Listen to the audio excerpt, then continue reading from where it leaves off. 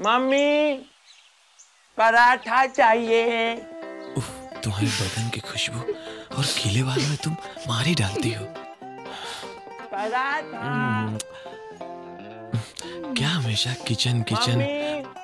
पराठा। कभी हमारा भी तो ख्याल कर लिया करो।